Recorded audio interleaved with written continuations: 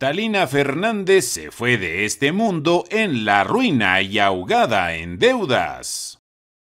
Cuando concluye el trabajo de ser madre, Talina Fernández nos enseñó que nunca.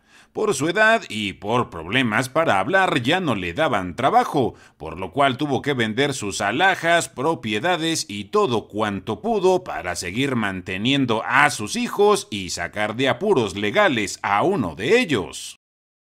A los más de 70 años de edad, la conocida como la Dama del Buen Decir tocaba todas las puertas de las televisoras, pues era el sostén de toda su familia.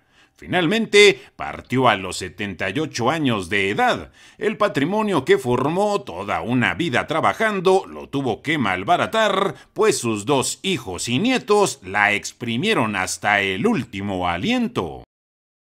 Descanse en paz, señorona Talina Fernández, pues a donde vaya ya no tendrá más deudas. La ruina en la que vivió sus últimos años allá no significa nada. Acá deja a unos dueños de televisoras, productores y compañeros conductores arrepentidos por no aprovechar su conocimiento y carisma.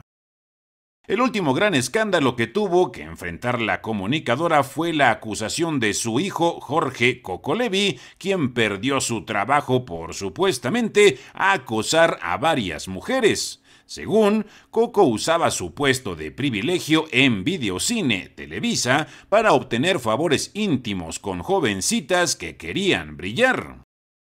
Talina recorrió televisoras, periódicos, revistas, todos los medios de comunicación para que no hubiera linchamiento mediático de su hijo.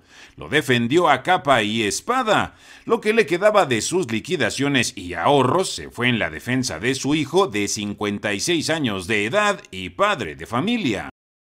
Fue entonces que Patricio Levy, de 53 años de edad, anunció que la situación financiera de su madre estaba muy mal.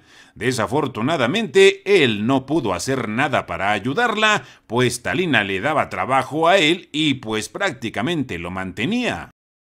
El mismo Pato dio a conocer que con todo el dolor de su corazón, su madre había vendido una propiedad que tenía en Tequesquitengo, en el estado de Morelos.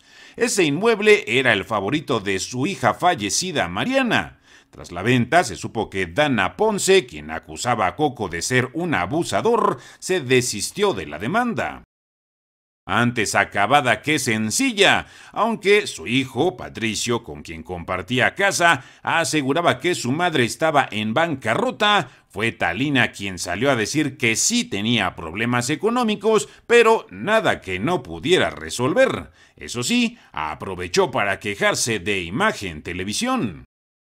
Cuando corrieron a Talina del matutino Sale el Sol, la televisora de los Vázquez mejoró el salario de Laura Bozo.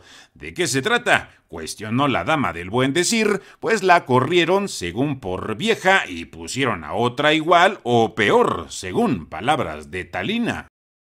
La de Talina no fue una vida fácil, debutó en televisión a los 26 años de edad. Era el atractivo visual del programa La Cosquilla al lado de su descubridor Raúl Astor.